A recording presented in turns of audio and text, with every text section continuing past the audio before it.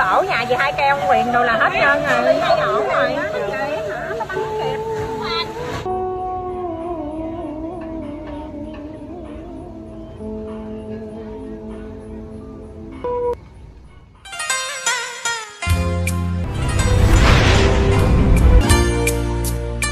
Dạ Bùi Hồ xin chào cô bác quý anh chị ạ. À, lời đầu tiên cho Bùi Hồ gửi lời chúc ờ, sức khỏe đến cô bác quý anh chị xem kênh Ờ, sức khỏe và an lạc. Thì ờ, hôm nay cũng là gần 10 ngày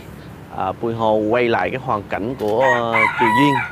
một cô gái người Việt bị lừa xe bán sang đất nước Campuchia 21 năm về trước cô bác quý anh chị. Được Bùi Hồ và em Phong Bụi ờ, hỗ trợ đưa về Việt Nam. Nhiều cô bác quý anh chị muốn biết cái cuộc sống hiện tại của chị Duyên như thế nào. Comment bình luận ở trên kênh của Bùi Hồ cũng như là em Phong Bụi rằng là nên đưa chị Duyên quay trở lại Việt quay về Việt Nam cùng chị Duyên đoàn tụ với gia đình.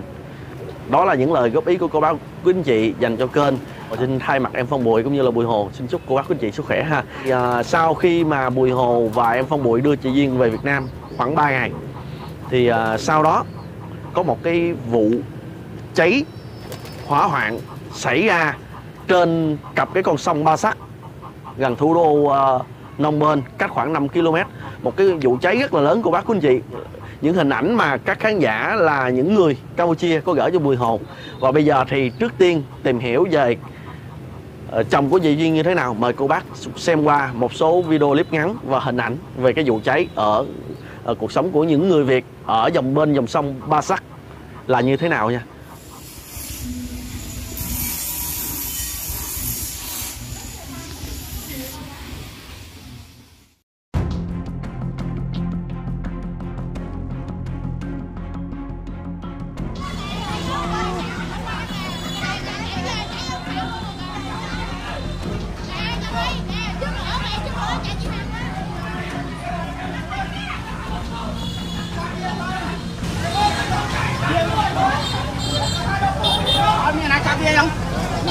nguyên này. Dạ, đi. Nâng là đốt à? dạ, rồi. Nâng nguyên này đốt.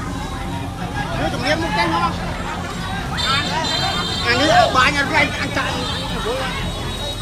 Nguyên là đốt tôi chạy tôi chạy.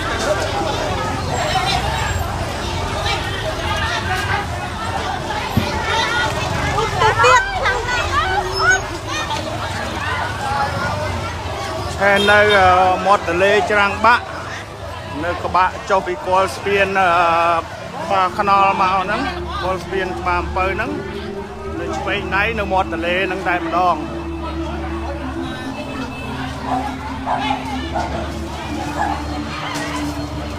đang là lan ទឹកចូលអូចូលដល់ហើយខាងក្នុងហ្នឹង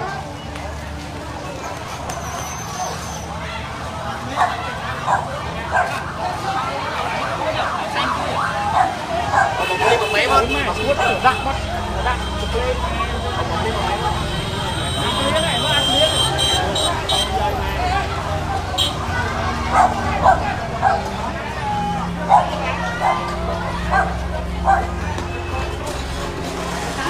cô Ú,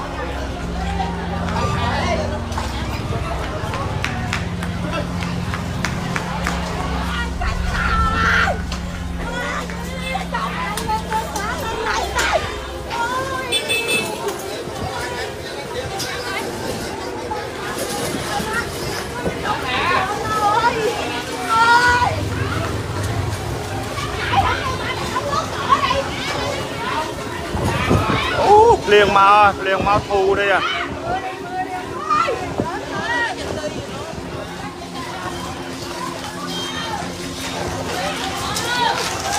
Thế nơi ờ, cái hai chén bạc sẽ bàn bơi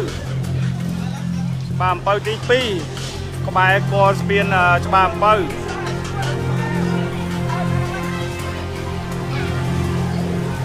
mình nghĩ là lót đi chạy khăn nè. na sinabi ng Yotaw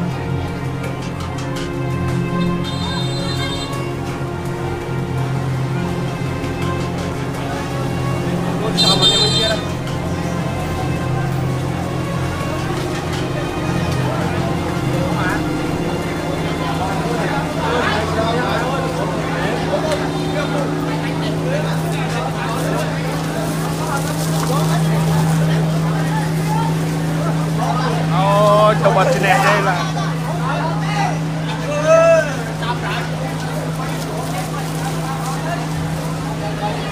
មើលមកខាងនេះលើគ្រឿងអេតចាយទៀតនេះបើដល់ឆ្លងមកដល់នេះទៅចប់ហើយ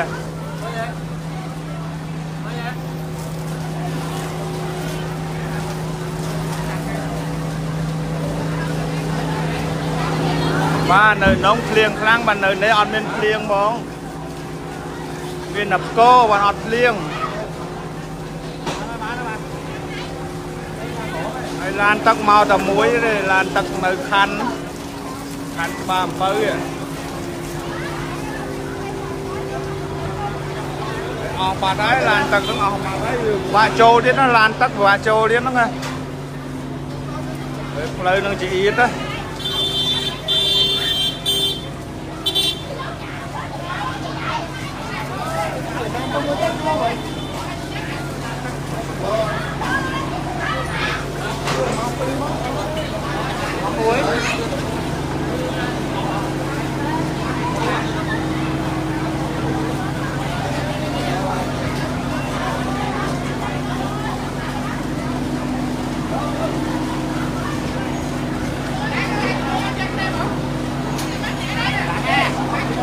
អូឡានទឹកមកបដាបដាហើយបាទដល់ដល់ដល់ណាប៉ុន្តែឡានទឹកបាញ់បានខាងមុខទេតែខាងក្រោយបាញ់អត់រួចទេចូលអត់រួច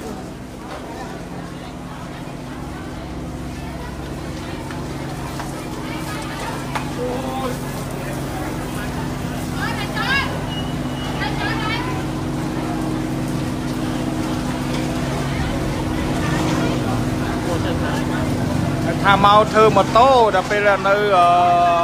មកទៅជាងជាងម៉ូតូរត់មកមើលភ្លើងដែរមកទាំងអស់គ្នាហ្មងទៅនៅក្បែរស្ពានអឺច្បារអំពៅ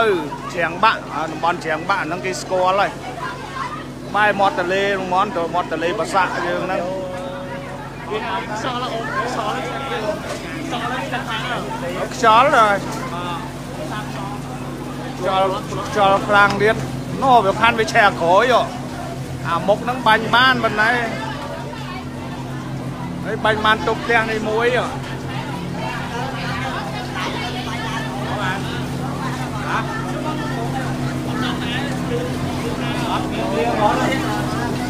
nơi này ớt liêng tê. Bợp liêng nó sẽ tắt tăng này nè căn thâu tu sàn tăng tiết à mà vậy chứ mà lan tăng màu đi về đó. ចេះអត់បបាញ់ហ្នឹងទេគេបាញ់ជប់តាខាងនេះអានេះវាឆេះអស់ហើយបាញ់ក៏អត់ទៅនេះដែរតាមមើលហ្នឹងហើយបាញ់ជប់អាខាងនេះព្រោះអាខាងនោះវាឆេះអស់ហើយហ្នឹងមិនដល់អត់ដឹងត្រូវបាញ់ធ្វើអីទៀតឡាននៅក្នុងភ្លៀងក៏នៅនេះអត់ភ្លៀងសោះ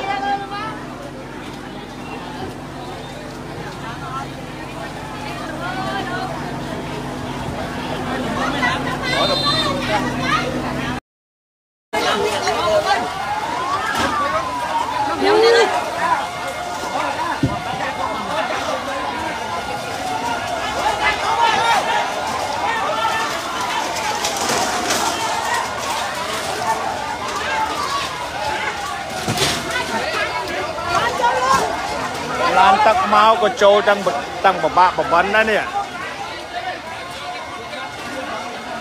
នៅក្បែរនៅគេហៅនៅជ្រាំងបាក់ភូមិជ្រាំងបាក់សកាត់ច្បារអំពៅ2ក្បែរកលស្ពានច្បារអំពៅបាទអូអង្គិតចិត្តអង្គរបាលជើងគឺភូមិជ្រាំងបាក់ phải ស្គាល់ហើយមកប្រទេសជ្រាំងបាក់ច្បារអំពៅ hàng một năm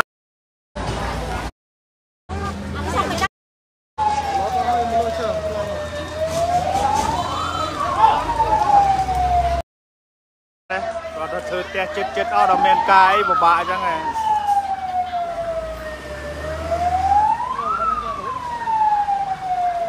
bạ dài bạ thoi.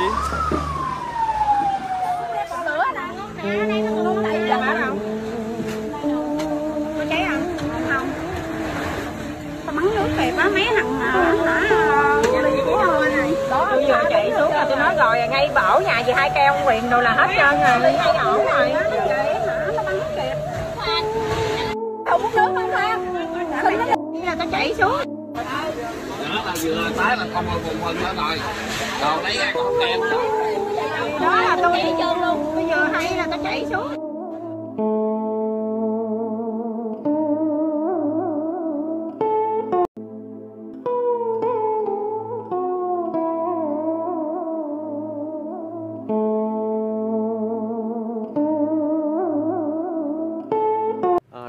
những cái hình ảnh mà rất là đau thương của bác quý anh chị. À, đó là những người Việt những người con của Việt Nam.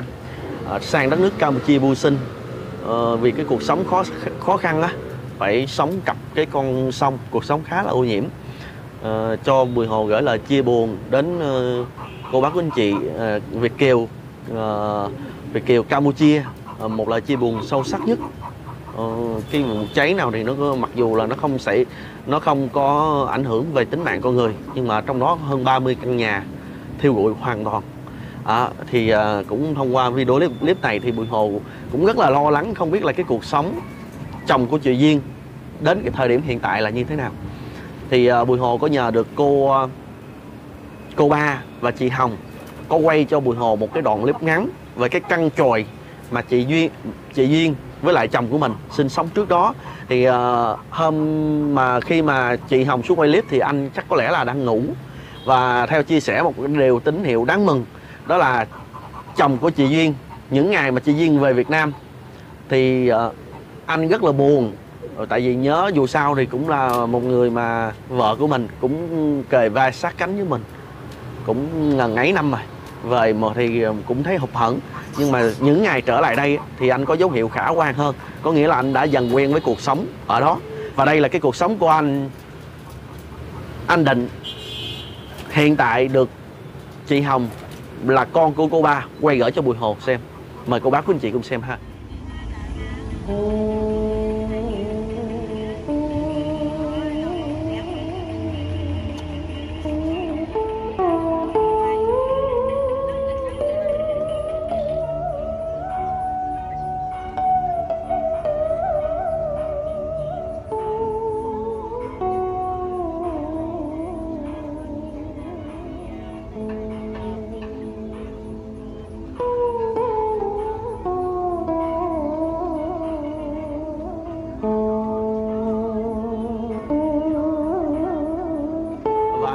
Bác quý anh chị biết không? Ba mẹ của anh Địa là chồng của chị Duyên á hiện nay vẫn đang sống ở Campuchia. À, và cô chú của anh Địa vẫn đang ở Campuchia.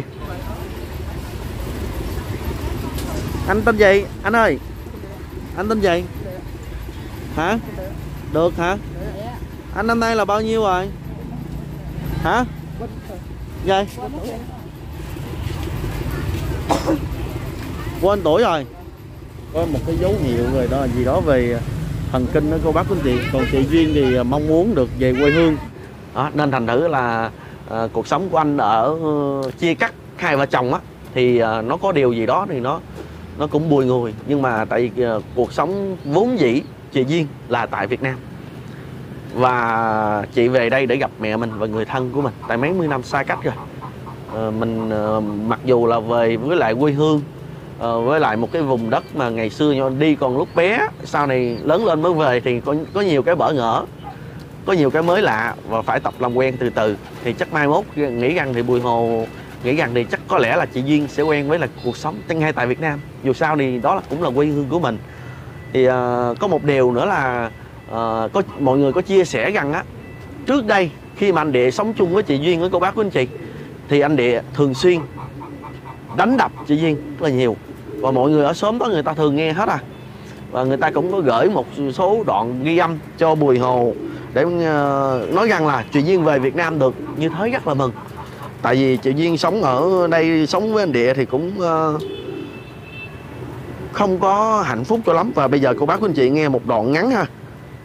Tại vì chị cũng thương, tội nghiệp riêng Duyên không muốn cho nó ờ, ở lại với cái thằng quỷ sứ đó đánh như quỷ gì thậm chí mà mà bên bên chồng nó cái thằng bên bên bên chồng nó đang là cũng kêu nó là không cho ở thằng đó, nó cho tiền về Việt Nam đó mà nó nó nó không biết làm sao nó không chịu về đó. Nó hết biết đường về làm nó ở thằng đó nó bị khùng giống nhau đó em ơi. Sao bây giờ chị thấy nó tỉnh táo quá? Từ ngày em lấy nó về đó là thấy nó tỉnh táo dữ lắm rồi đó. Chứ ở trên này hai đứa nó quýnh lộn trời nó quýnh cái ngõ này dữ dằn luôn em nó quýnh mà ở sớm ai cũng sợ chứ sợ luôn nó quýnh quýnh cỡ đó đó và cái đoạn này. Em cũng thấy em, mấy bữa đầu em lên thấy nó vô nó giấy rồi nó ốm không? Hôm nay về Việt Nam mấy ngày em thấy nó đẹp nó hơi có thịt có da lại đó em. Ở trên này thằng này đánh hoài ngày nào cũng bị chứ ngày nào cũng bị đánh chứ. Ừ, ngày nào cũng bị đánh chứ cũng thiệt duyên lắm nè ở đây nó khổ gì đâu Dạ. Riêng à nếu mà một khi mà về nhà á, chị mừng chị mừng giùm cho cưng. Tại vì sai cái gia đình mình mà mình về xứ sở của mình á thì rất là mừng cho cưng nhưng mà chị nói trước khi cưng về cưng nhắc về cưng suy nghĩ cho kỹ nha. Tại vì mẹ mình mà bây giờ mẹ cưng nè mà cái thằng gửi nó về cái chữ nó quýnh con cưng đồng ý không? Đỉ không à. Ừ. nha. Không em nghe em nghe có nghe cái đó rõ ràng Ờ. đó là những cái cái đoạn ghi âm ngắn mà khán giả gửi cho Bùi Hồ. Thì sau khi chị Duyên về Việt Nam thì cuộc sống thì cũng thấy ổn định. Nhưng mà qua người thân chia sẻ với Bùi Hồ á gần mấy ngày nay thì cuộc sống của chị Duyên có sự uh, sức khỏe của chị Duyên yếu cũng có đi truyền nước biển rồi cũng có đi khám tổng quát nhưng mà sức khỏe của chị Duyên đều rất là bình thường cô bác quý anh chị. Ờ, và trong ờ, một vài ngày tới thì chắc có lẽ là Bùi Hồ sẽ ghé thăm tình hình sức khỏe của chị Duyên đến thời điểm hiện tại như thế nào để thông báo cho cô bác quý anh chị uh, xem thích kênh Bùi Hồ biết để cô bác quý anh chị có thể yên tâm hơn. Tại vì khi mà đưa chị Duyên về á, thì cuộc sống nó sẽ đổi khác rất là nhiều à, Bùi Hồ cũng sẽ đến thăm để quay một hai clip gì đó về cái hoàn cảnh của chị Duyên hiện tại. Và chắc có lẽ là khoảng sau khoảng 2 2 đến 3 tháng nữa thì chị Duyên mới có thể buôn bán lại được cô bác quý anh chị cũng như khi được hỗ trợ với số tiền của chị ờ, ờ, chị Xuyên ở Nhật Bản cũng như là mạnh thường quân của em Phong thì cũng được hai mươi mấy triệu. Thì sau này thì chị Duyên mới có thể buôn bán khi mà sức khỏe hồi phục hoàn toàn và hiện nay thì Bùi Hồ à, cũng đã nhận được một số tiền của cô bác quý anh chị là mạnh thường quân tiếp tục hỗ trợ cho Bùi Hồ để cho chị Duyên. Tại vì Bùi Hồ nhận thấy là à, chị Duyên bây giờ đang đi về vẫn còn sức khỏe còn yếu và cần một số cái chi phí ăn uống để bồi bổ cũng như là uh, thuốc men. Nên Bùi Hồ một số mạnh thường quân có gửi thêm cho Bùi Hồ nữa. Thì uh, mai mốt đây thì Bùi Hồ sẽ quay trở lại trao cho chị Duyên ờ, để cho chị Duyên ờ, bồi bổ cho lấy lại sức khỏe cũng như là tinh thần khi cô bác quý anh chị xem clip này đó thì uh, Bùi Hồ sẽ ngưng nhận tiền hỗ trợ từ chị Duyên. Tại vì trong cái quá trình mình sau khi đưa chị Duyên về đó có rất là nhiều mạnh thường quân hỗ trợ chị Duyên. Mà Bùi Hồ cũng ngưng nhận tại vì uh, à, đến một thời điểm nào đó để uh, cho chị có thể mưu sinh trong cuộc sống quen dần quen với cái cuộc sống ngay tại Việt Nam. Thì uh, một lần nữa thì uh, Bùi Hồ xin chân thành cảm ơn uh, cô bác quý anh chị uh, là mạnh thường quân. Quý chị xem kênh uh, Bùi Hồ thì uh, cũng mong là cô bác quý anh chị tiếp tục ủng hộ và đồng hành cùng kênh Bùi Hồ. Thì uh, Bùi Hồ sẽ quay một số đoạn clip ngắn về cái uh, tình hình của chị Duyên hiện tại cho cô bác quý anh chị xem uh, là như thế nào và sẽ tiếp tục trên những cái nẻo đường uh, để quay về những cái hoàn cảnh những cái cuộc sống của người Việt uh, những cái hoàn cảnh khó khăn cho cô bác quý anh chị xem. Uh, xin chào và hẹn gặp lại cô bác quý anh chị uh, rất là nhiều. Uh, xin chào và hẹn gặp lại.